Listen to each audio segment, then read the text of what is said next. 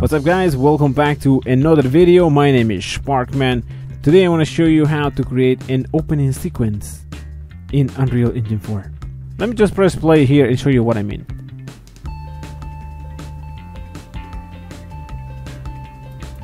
Okay, now we can uh, move our character.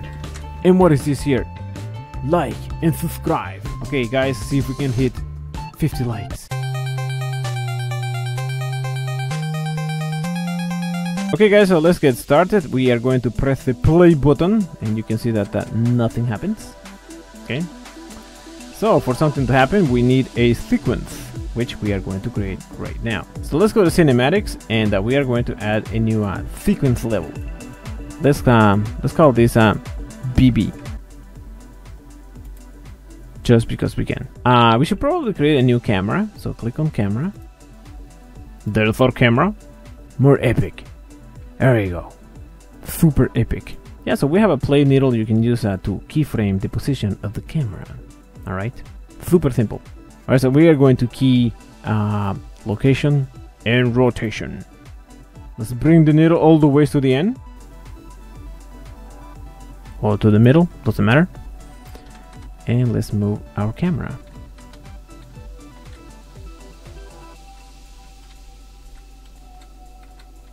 Close to the um, original third person camera.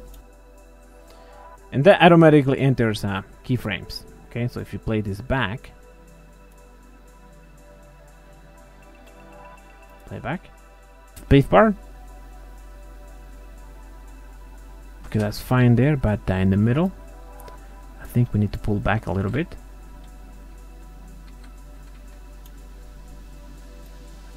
Press spacebar again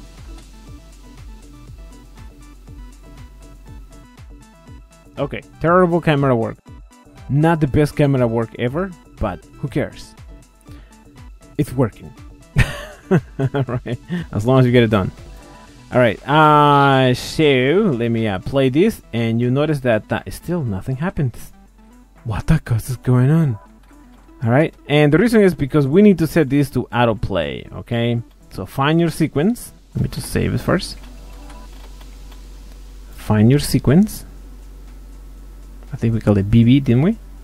Here it is, BB, and uh, we need to check this checkbox here, autoplay, and let's press play.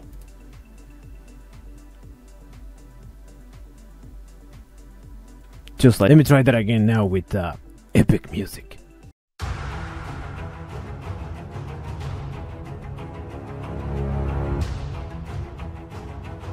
Alright guys, uh, don't forget to smack the like button down below and subscribe if you haven't subscribed. Also there is a bell next to the subscribe button. Thanks for watching guys, see you in the next video. Bye now.